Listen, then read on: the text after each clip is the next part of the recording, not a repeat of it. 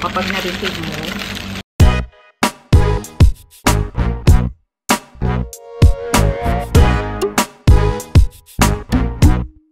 Hey guys! Assalamualaikum! Welcome back to our YouTube channel. And in today's video, medyo matagal-tagal ako hindi nakapagawa ng skincare. And in today's video ay gagawa natin ng review etong Rution brand quality na stained white soap. Ayan siya. Kung gusto nyong malaman kung anong mga nangyari sa akin after using this, keep on watching. So, before ako mag-start guys, kung hindi ka pa nakakapag subscribe sa aking channel at bago mo pa lang ako napanood, please not forget to subscribe and i-hit yung notification bell para updated kayo kapag ako ay may mga bagong upload. Kagaya nito, kapag na-receive mo, wala na kasi yung ano, tinanggal ko na yung plastic. Ganyan siya pag na-receive mo. Namit ko siya for 2 weeks now. By the way, ito nga pala yung yung pinakalaman niya. May pinakasabon niya. May kasama siyang parang net. Ayan. Medyo basa-basa pa siya kasi kagag kagagamit ko lang. Ayan o, basa-basa pa siya. So, meron siyang net. Tapos sa loob is meron siyang, pakita ko sa inyo. Medyo basa pa siya. Ayan siya, okay. I don't know kung nakikita nyo ba. Ayan. So, ayan siya. Okay naman siya. Tapos, mabango. Yun, sobrang bango niya. As in, yung ang lakas maka-fresh yung amoy niya. Tapos, kapag nirap mo siya, kasi meron daw mga klase kung paano mo siya gagamitin. Pwede mo siyang direkta sa face para medyo nai-scrub yung face mo. And, pwede naman na ikuskus mo siyang ganyan. Tapos, yung bula, saka mo yung foam, parang igaganon mo sa face mo. So, ang ginagawa ko is both. Pwede siyang, nirarab ko siya minsan pag feeling ko na parang ano, um, gusto ko siyang i-exfoliate yung skin ko. And, minsan naman is yung foam lang, ginaganyan ko. Ang napansin ko lang dito is, hindi siya ganun ka sobrang bula. I don't know, kasi meron akong napanood, sobrang bula niya. Yan mo siya, sobrang bula. As in, sobrang bula. Pero once na in-apply mo na siya sa ano, sa skin mo, nawawala yung bula. Pero may napanood kasi ako, I don't know kung saan ko siya napanood. May napanood ako na talagang nagbababol-babol pa habang ginaganyan niya sa kanyang face. Pero eto, As in, pag nilagay mo siyang ganun, as in, wala na, ayan na, na parang nawawala agad yung bula. Nga, naghahanap ako ng pwede kong ipalit na sabon doon sa aking um, paborito na sabon na, ano ba yun? Brilliant Skin na Arbutin Soap, ganun.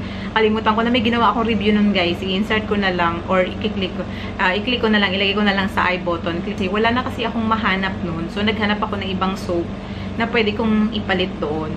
So, nag-try ako ng I don't know kung saan siyang galing, yung black soap. Hindi ko siya nagustuhan sa skin ko kasi nga parang feeling ko, alam niyo yung para kayo nag alam niyo yung anyel, guys. parang pag nilagay mo yung anyel, parang nagbublo-blo yung mukha mo, pati kamay mo. Parang hindi ko siya gusto, yung black soap. I don't know. Basta hindi talaga siya. Hindi ko siya bet. So, nagtry akong bumili nito and yun nga, okay naman siya. Medyo smooth siya sa skin. And, yun nga lang parang feeling ko, ang lakas niya makadry sa skin ko. Parang akala, medyo gentle naman siya. Parang feeling ko kapag nirarab mo siya sa skin, okay lang yung parang ordinaryong sabos, ginaganyan mo. Medyo okay naman siya. Pero kapag after mo ng mga ano, na maghilamos, yung napapansin ko, yung parang nag-dry, nag-dry yung skin ko, yung ano talaga, iba yung, iba talaga yung ano ko. Basta, mapapansin nyo yun guys kapag gumagamit kayo or pag nagpapalit kayo ng sabon. Kasi meron talaga na sobrang after mo mag ano, although may, medyo nagda-dry, pagka hilamos mo, after, right after ng paghilamos mo, napapansin mo na parang medyo okay-okay yung skin mo. Pero ito napansin ko, right after ng pagkakahilamos ko, kasi 2 weeks ko na siya, more than 2 weeks na, actually mag-iisang buwan ko na yata itong ginagamit. Simula ng pagkabili ko, hindi, inabot na ako ng mag-iisang buwan na itong ginagamit ko kasi nga sayang. Although maganda naman siya, ang ginawa ko is ginamit ko na lang siya sa katawan ko. Yun, hindi ko na masyado siyang ginagamit sa face ko. Meron pa naman akong natitirang konting-konti noong aking na uh, paborito na sabon. Kaso nga lang, kasi sobrang tinitipid ko na talaga siya. So, ginagawa ko dito is ginagamit ko na lang siya sa, ano, sa katawan ko para hindi naman siya masayang. More than 2 weeks. Kaya talagang tinry ko siya. Pero yun talaga yung lagi kong napapansin doon sa 2 weeks. And by the way, isa sa ano, morning and evening ko siya ginamit talaga guys. pinagtyagaan ko talaga yung fake na gamitin sa mukha ko. And yun nga, ngayon medyo nakaano kasi ako eh, nakatawag nito. Nag-makeup ako ng konti dahil meron akong ano, meron akong, naglagay ako ng konting-konting uh, baby cream. Nagda-dry, nag-dry yung skin ko. Na, normally kapag ako ay naglagay na sa morning ng, ano, ng um, Jeju Aloe Eyes, By the way, yung Jeju Aloe Eyes, hanggang ngayon ginagamit ko pa rin siya dahil sobrang ganda niya. At first, one week ko siya. Ginawan ko yun ng review, guys. Ililink ko na lang sa description box below. Tapos, ano, um, at first, hindi ko siya masyadong na, ano, na appreciate or medyo dahil nga kulang yung isang linggo. And ngayon, mahigit ilang, mahigit ilang buwan ko na siyang ginagamit simula nung ginawa ko yung review na yun. And nagustuhan ko siya. Sobrang ganda niya sa skin sa akin. Yun yung pinaka-paborito ko na ngayon na ginagamit na panlagay sa aking mukha. At feeling ko, sobrang gandang-gandang-ganda niya sa akin. Lalo na pagkagamit mo noong sabon ng Brilliant Skin. Kalimutan ko talaga guys. Brilliant Skin or Fair. Brilliant Skin nga yun na soap na Arbutin. Basta dalawang two-tone na kulay. Yun white and pink. Sobrang ganda nun. Talagang asin yun talaga yung paborito kong sabon na ginagamit. And mauubos na talaga siya. So, ayun lang guys. Back tayo dito sa ating uh, snail white. Ayan siya. And yun. Ginagamit ko na lang siya ngayon after 3 weeks, ginagamit ko na lang siya sa sa aking uh, sa aking ano uh, sa aking katawan. Paminsan-minsan ginagamit ko pa siya sa face ko dahil hindi naman ako na-irritate. Yun lang yung makagandahan kasi hindi naman siya nakaka-irritate sa skin. Medyo hindi mo nga lang ayun, mapapansin mo lang. Depende siguro sa skin type ninyo. Ako mal kasi ay ah, yung skin type ko or nagkakaroon ng pimples sa mga ginagamit ko. Pero kaya okay lang din siya. Pero ngayon, ang nangyayari pa is parang kapag hinahang nyo siyang ganyan, tapos nakalagay lang doon sa my CR, napapansin nyo parang nagiging air freshener na lang. Kasi sobrang bango niya guys. Parang nagiging air freshener. Kapag pumasok ka sa CR, ito agad yung maaamoy mo kasi ang bango. So, alam mo yun, may air freshener ka na. sa CR, may sabon ka pa sa mga katawan. Pwede mo pa siyang gamitin sa skin nyo. Depende po sa skin type ninyo. So, kung medyo sensitive kayo, I suggest na wag nyo na lang sigurong gamitin to.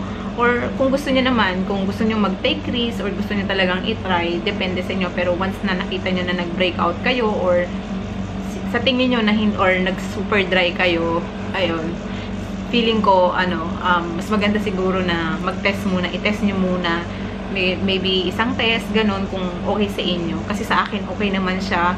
Pero yun nga lang napapansin ko, malakas siya makadry ng skin. Naging sabon na lang siya sa pangkatawan and binibigyan ko pa rin naman siya ng chance na umabot ng isang buwan pero hindi na nga lang ano, hindi na nga lang ano um morning and evening. Iba na talaga, bumabalik na ako doon sa dati kong sabon kasi nga baka feeling ko pag umabot ako ng mahigit isang buwan na gumagamit ito sa face is mag-dry talaga yung skin ko.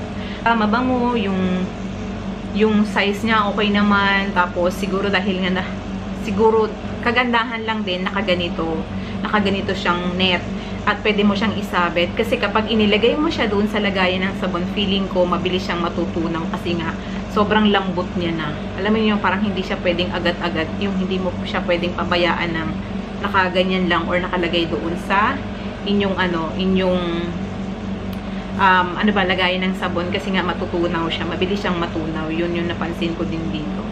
So, ayun lang guys, ang aking update dito sa aking paggamit sa aking ano, wala namang nagbago. Medyo, yun nga lang, um, babalik ko na lang uli ako doon sa dati kong sabon na ginagamit. I don't know kung sa, saan ako makakahanap kasi ang hirap talaga makahanap ng sabon na yun. Lalo na dito sa ibang bansa. Siguro kung sa Pilipinas, talagang ano, um, magpa, siguro kung may, may pupunta dito, magpapabili ako ng siguro madami para at least kahit pa paano, pag naubusan ako, mayroon pa akong extra. Kasi nga, ngayon, hanap ako ng hanap ng ibang sabon na pwedeng mahihiyang uli, nakagaya nung sabon na yun sa aking face. Ayan, And, uh, nung ginamit ko pala to, hindi ko talaga ginamit yung aking um, previous na ginagamit. Kaya, napansin ko talaga yung pagkakaiba na nagda-dry talaga siya. Nandamihan mo to ng, ano, ng moisturizer na after mong gumamit na neto, kailangan mong damihang maglagay talaga ng moisturizer. So, yun nga, wag niyong gagamitin to guys kung kayo ay sensitive. Sa akin kasi hindi ako sensitive. Okay lang na gumamit ako ng mga product. Sensitive kayo and prone kayo sa pimples, acne, siguro ano, hindi ko din alam kung magiging okay siya. Siguro kung medyo oily yung face ninyo, oily, siguro magda-dry siya. Kasi sa akin, nag nag-dry yung face ko ni, neto, nung paggamit ko nito. So, hindi ko lang alam. Nga nabili ko to ng 8 real. So, yun lang guys. Ito yung aking honest review dito sa Snail White soap ng Rotion. Ayan siya.